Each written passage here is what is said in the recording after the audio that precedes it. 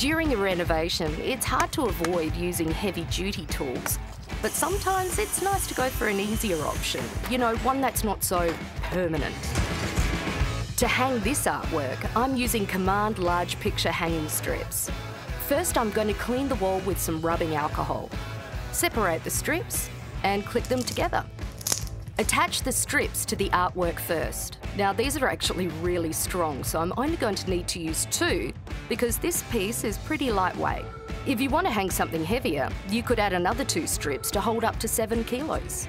Place the artwork onto the wall to get your positioning right and then hold it in place for 30 seconds. Now my tip is to remove the artwork again for about an hour to really let that adhesive stick. I personally love this artwork, I really do, but if the people who buy the house don't, they can remove it easily without damaging the wall. And that's at least one job done without the need for any tools.